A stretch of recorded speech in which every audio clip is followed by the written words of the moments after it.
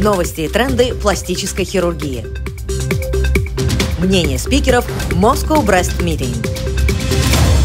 В пластической хирургии мы, используя современные импланты, позволяем женщинам вернуть не только здоровье, но и красоту. И я считаю, что это главная новость, то, что женщины перестали бояться этого заболевания. И стали обращаться к нам, как специалистам, не только вот как онкологам, для того, чтобы вернуть свою естественность и всю свою женственность. Пряча онкологию под эстетику, мы вот этот убираем страх, и я думаю, что это самое главное. Потому что если женщина ко мне потом обращается через год уже по поводу коррекции какой-либо, я, значит, думаю, что в этой ситуации мы победили заболевание, они стали, ну, как бы, перестали думать о нем.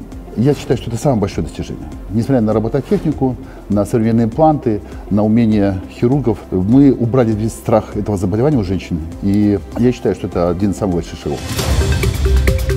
Новости и тренды пластической хирургии. Мнение спикеров Moscow Breast Meeting.